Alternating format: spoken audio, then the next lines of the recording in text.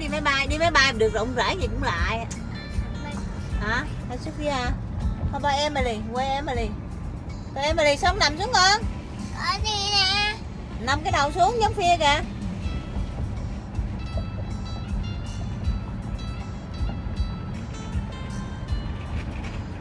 Emily nằm xuống Emily Nè. ờ nằm xuống rồi hả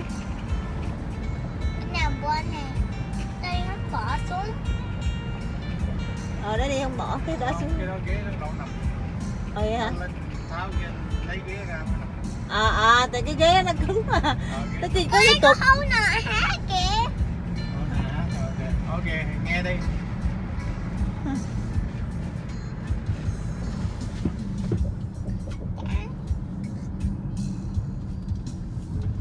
À, đi không? Có DVD play rồi còn có iPad nữa nè ở gớm không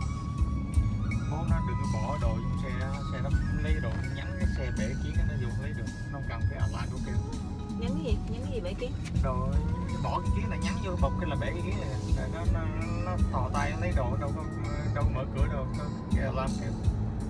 Nên mà đừng bây giờ bỏ đồ gì trong xe? Bỏ giờ quý giá xe là bị bắt. Cái rồi nó emergency đập á. kiến không nó đập kiến ờ không nó chỉ nhắn vô đập thùng cái là bể cái kiến à rồi nó thò tay nó vô. Ờ thò vô lấy đâu có bị đâu alarm nó kêu kiến bể alarm nó kêu đâu ra gì đâu chút. Cái gì lỗi. nè hai đầu tay chứ đâu ôi con mũi đập mấy con mũi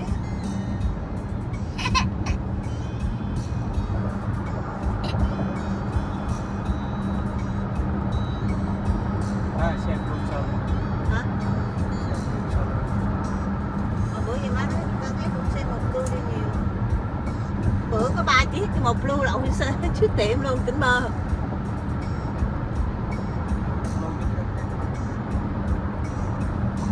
luôn màu sáng như cái áo em á, lưu nó đẹp. Màu mà nó không có ẩn kim tiếng nữa không nó không sống. Nha bye bye nha bye em đi nha.